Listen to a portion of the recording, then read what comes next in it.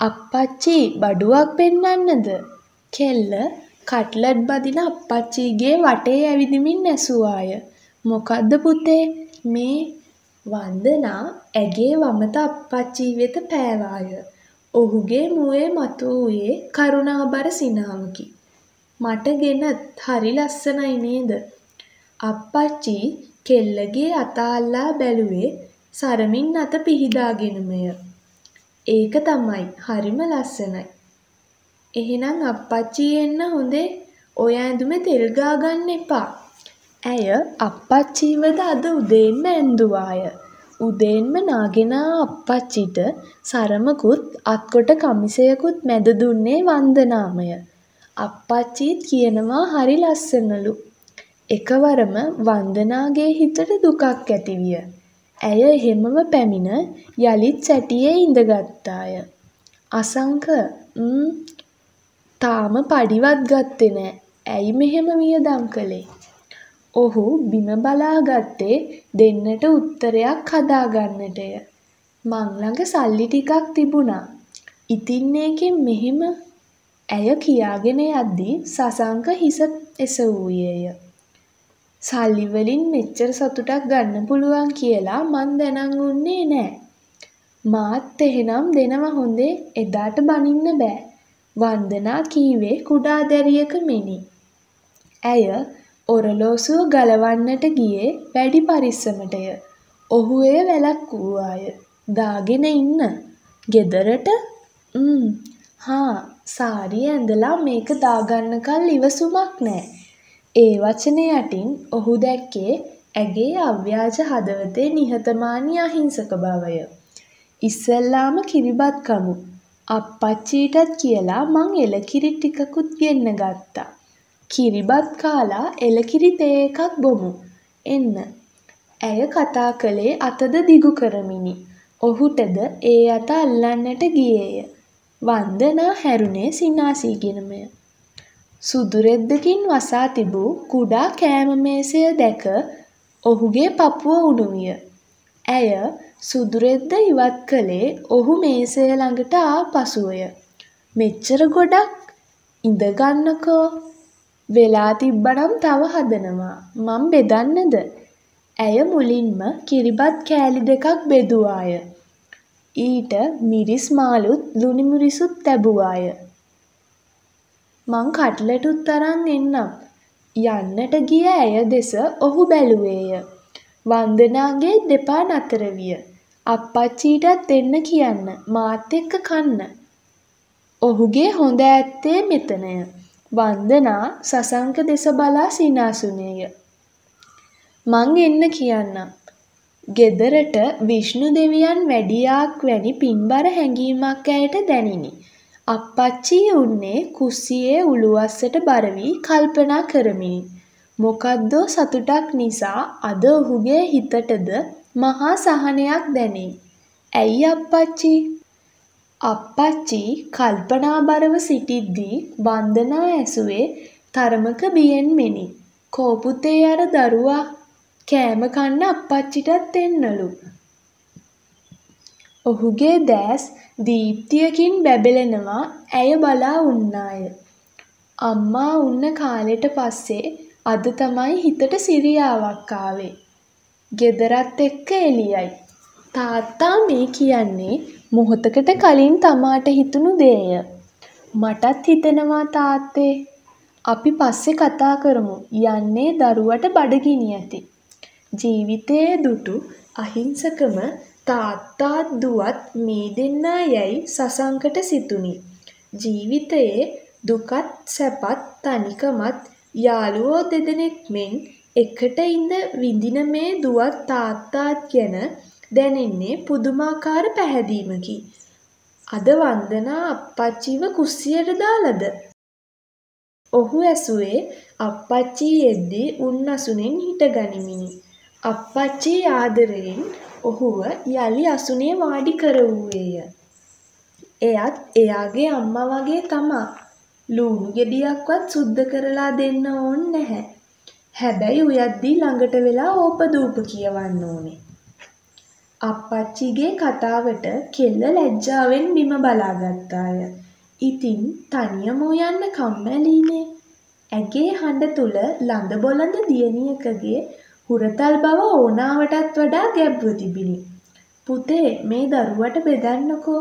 වන්දනා ඔහුගේ පිඟානගෙන ඔහුට කිරිබතුත් මාළු ඇඹුල් තියලුත් ලුණු මිරිසුත් බෙදුවාය. කට්ලට් පස්සේ කමු. මොනා තිබ්බද ඔහු කන්නට ගත්තේ ලුණු මිරිස් සමගය.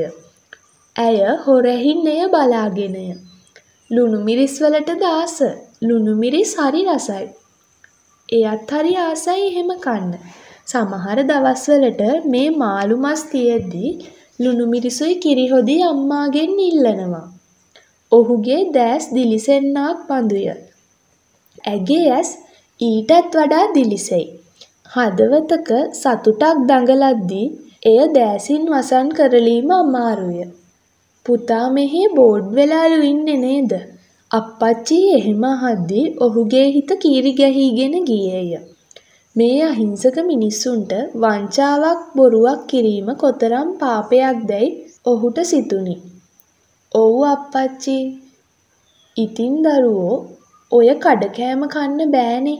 එවර සසංක බැලුවේ වන්දනා දෙසය. මේ කිරිබත් කන ගමන්ම ඇත්ත කතාව කියන්න ඔහුට සිතුණි. පුතේ ඉතින් උදේ බත් එක හදන ගමන් මේ දරුවටත් බත් එකක් ගෙනියන්න පුළුවන්නේ. උයන ටික අපි දෙන්නට වැඩියි පුතේ. සසංකගේ පපුව උණු විය. මං වන්දනා ගේන එකෙන් කටත් දෙකක් කොහොමත් කනවා අප්පච්චි.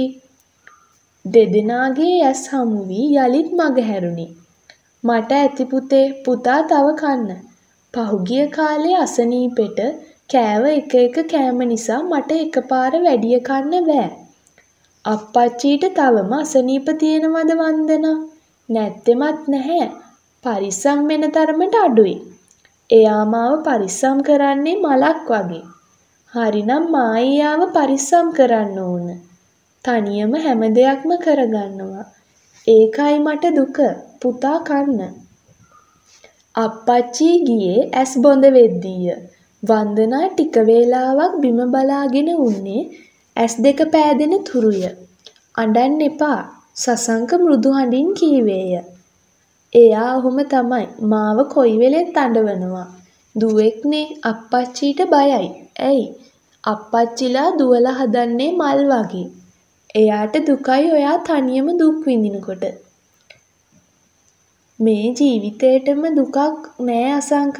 මං හරි සැනසීමෙන් ඉන්නේ. දුකක් ඇත්තටම නැද්ද? කෙල්ලගේ දෑස් එසවිනි. එහි අවංක බවක් විය. පහුගිය කාලේ ටිකක් පාළුවෙන් හිටියේ. ඇගේ හඬ තුල අව්‍යාජ බවක් විය. තාමත් සසංක හිමිහිට ඇසුවේය. ඇගේ ඇස්වල දිස්නයක් සටහන් විය. පස්සේ මට හොඳ යාළුවෙක් හම්බුණානේ ඊට පස්සේ ඇයට ගොත ගැසිණි. ඒ යාළුවා හැමදාම ඉඳී. එහෙම කියවුනේ ඇයිදැයි සසංකවත් දන්නේ නැත.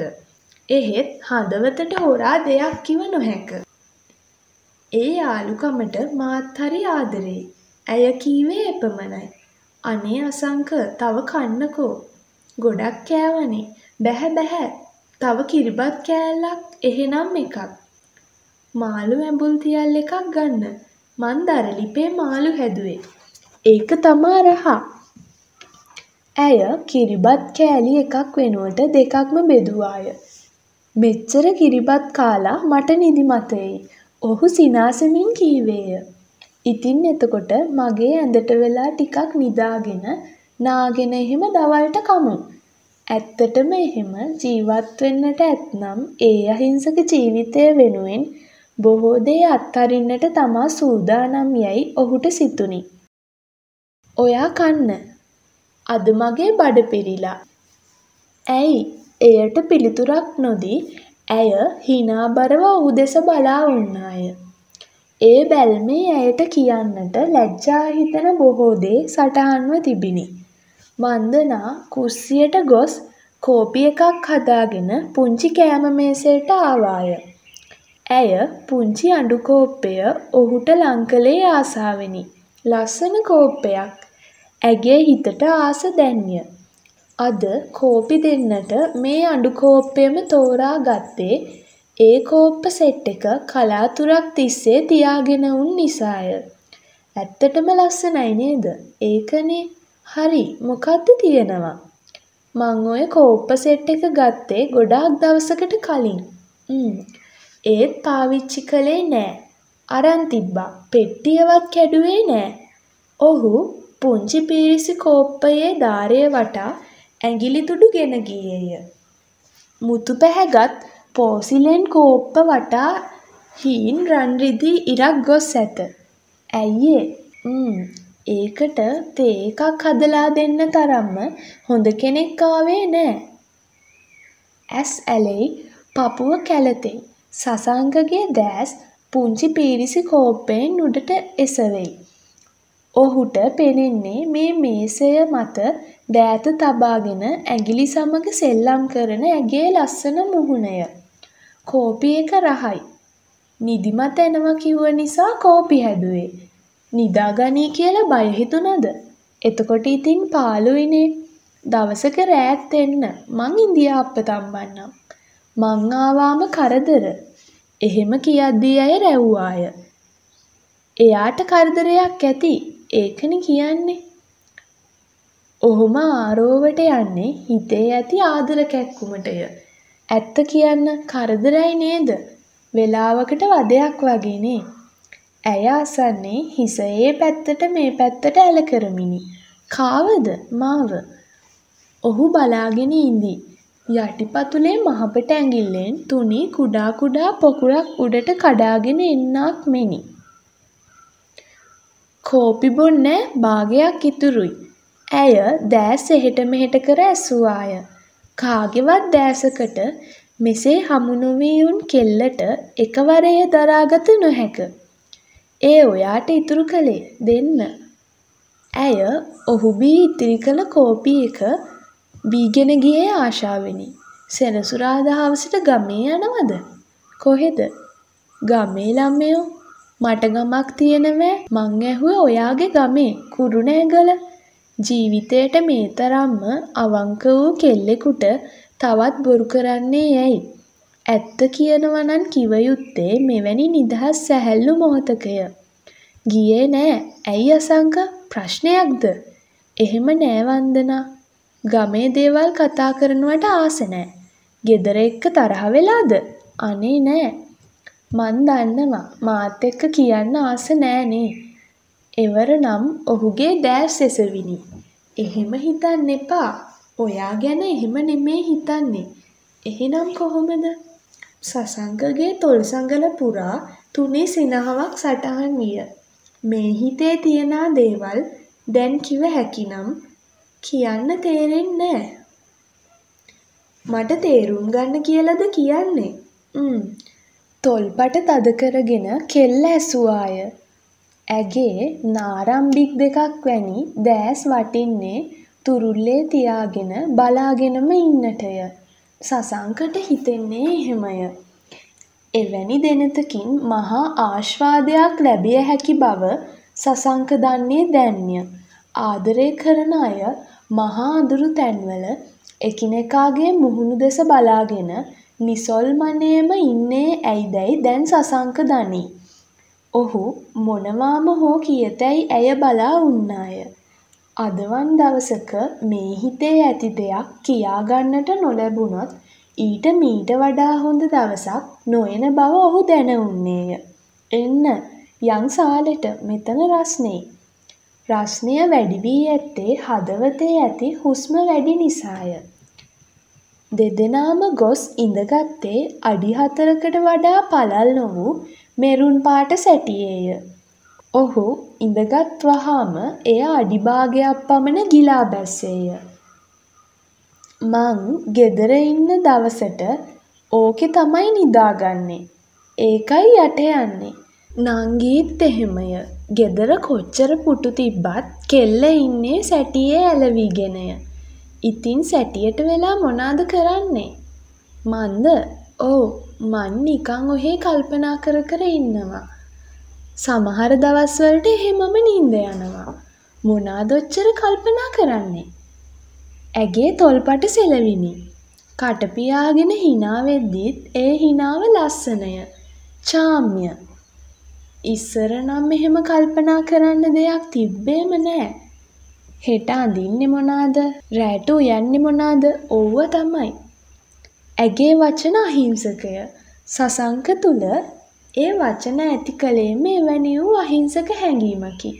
දැන් ඔහු ඇසුවේ ඒ දෑස් දෙස බලාගෙනමය. කෙල්ල මුහුණ එහෙම්මම තිබියදී දෑස් පියන්පත් පමණක් එසවූවාය. ඔහු බලා උන් බැල්මෙන් ඇගේ ගත හිරිවැටීගෙන ගියේය. දැන් හරියට මොනාද හරියට හිතන්නේ? ඔහු අසද්දී ඔහුගේ උගුරද කකියන්නට විය. අනේ මට කියන්න දන්නේ ආදරයේ පුංචිම හීසර පහර වැද තුවාල වූ හදවතකින් ඉන්න හැම කෙල්ලෙක්ගෙම හඬ එහෙමය. ගොතය. වන්දනා. ඔහු කතා කළේ බිම බලාගෙනය. ඒ තරමට හිත ගැස්සී තිබුණි. ම් මට කියන්න දෙයක් තියෙනවා. සසංක කියද්දී සප්තකන්‍යා කඳු වැටියම ඇගේ පපුවට කඩා වැටුණාක් මෙන් විය. මුළු ලෝකයම එකවර නතර වූ බවක් ඇයට දැනිනි. මටද කියන්න තියෙන්නේ. ඔව්. ඉතින් ඇයි කියන්නේ නැත්තේ? තමාට ඇඬෙන්නට එන්නේ ඇයිදැයි වන්දනා හිතුවේය. වචන උඩට එන්නේ ඒ තරම් බරවය. කැඩි කැඩීය. කොහොම කියන්නද කියලා තේරෙන්නේ කාටවත් මීට කලින් නොකියපු දෙයක්ද? ඔව් කාටවත් නොකියපු දෙයක්. අවට පරිසරයම නිහඬ බවක ගිලී තිබිණි. දෙදෙනාටම ඇසුනේ උඩ ඇති පංකාවේ කැරකෙන හඬ පමණි. සැටියේ වැටී තිබූ ඇගේ දකුණත දෙස ඔහු මොහොතකට බැලුවේය. ඊටාම අහිංසක යුවතියගේ දයාබර අතක් ඔහු දැක්කේය. පැටලෙනවා නම් පැටලිය යුත්තේ එවැනි අහිංසක අතක් සමගය. ජීවිත කාලයටම ඒ ඇතිය. සසංක ඔහුගේ වමතින් ඇගේ දකුණත අල්ලා ගත්තේය. බලසම්පන්න කෙනෙකු තම අත අල්ලාගත් බවක් ඇයට දැනිනි.